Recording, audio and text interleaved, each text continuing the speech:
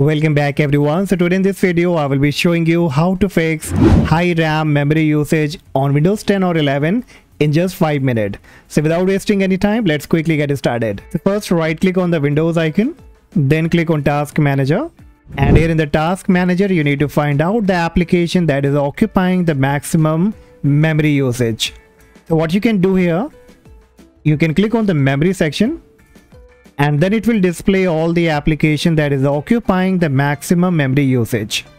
Now on my end you can see Power Toys, Microsoft Edge, even I am not using it, they are still running in the background and occupying a lot of memory usage. Alright, so what I can do here, I can right click on it, click on End Task. I will also right click on Microsoft Edge, End Task. Then you can find the anti-malware service executable that is a part of the Windows Defender so we cannot disable it but if you want to disable then let me know in the comment section. So once you are done from here then you have to click on startup app from the left hand side. And from here also you need to disable the microsoft edge and other third-party application that you don't want that it should come along with the computer. All right so once you are done now you can close it. Next you need to click on your windows search type registry. Click on registry editor.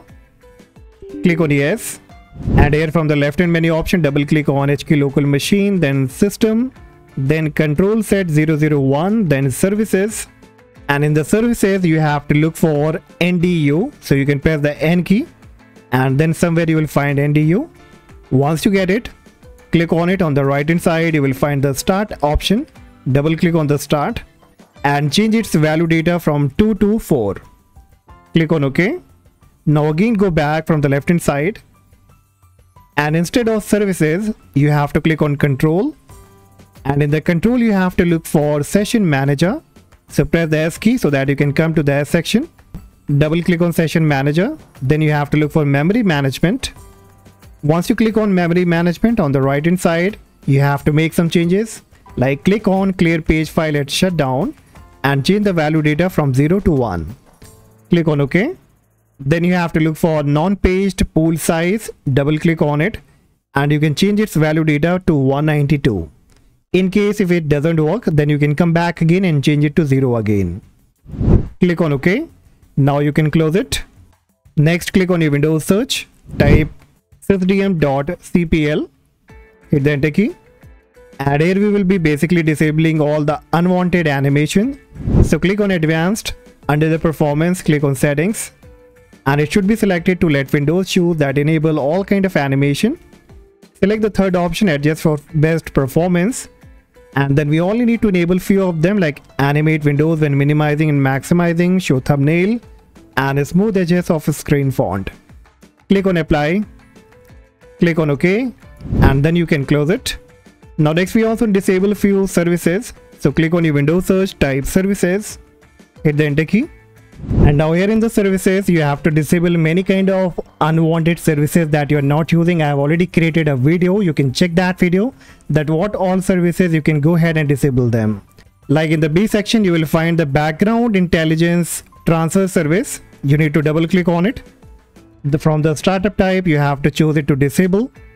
Stop the service. Click on apply. Click on ok same you have to do with the background task infrastructure and the base filtering engine and then it depend on you that if you're not using the BitLocker or the Bluetooth whichever you are not using again you can make a double click on it and you can disable them.